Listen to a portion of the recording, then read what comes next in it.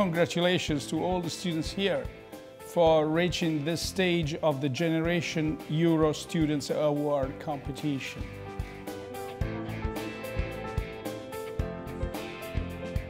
We felt so excited today because students don't used to have chances like that of coming to events this important. I was really excited to see uh, Mr. Draghi. It was really cool.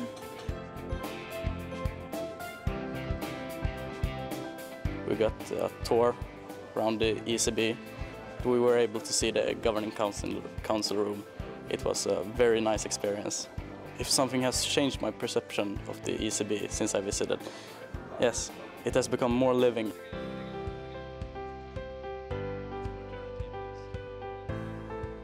It was really interesting to ask a personal question to Mario Draghi, so it was really inspiring and something different to all the press conferences, and it was great. He was really answering what we wanted to know. How all this is possible because of the values upon which the European Union was founded.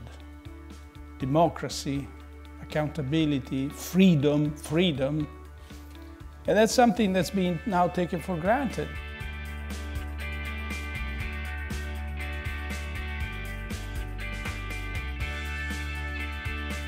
At what age did you decide to devote your professional life to the world of economics and finance? Well, see, Aki, not easy questions here. well, now, now really, I, I can't remember any single day where I was struck by lightning and uh, someone told me what I would become later on.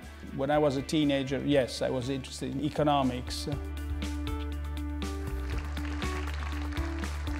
The ceremony was uh, really impressive. So Mario Draghi was there, and when we were uh, on the stage, and he gave us our uh, yeah, certificate, and yeah, then he gave us his hand, and we shook his hand. Yeah.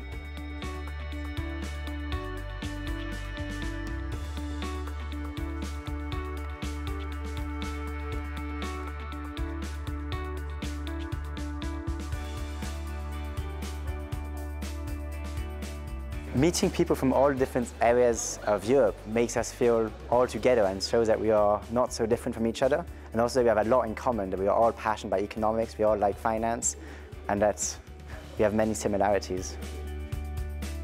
You will have an important role to play in tomorrow's Europe. But that role, that responsibility starts today.